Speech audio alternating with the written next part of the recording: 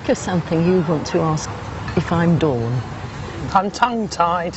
Well, that's what I'm trying to help with. So think of something that you'd like to know about her. So you can say, but Yeah, what are you doing now? you know what she's doing now. Well, go on then, answer. You've got grey hair. Yes, I know that. It's white. And it's Tuesday tomorrow, isn't it? no, it's not.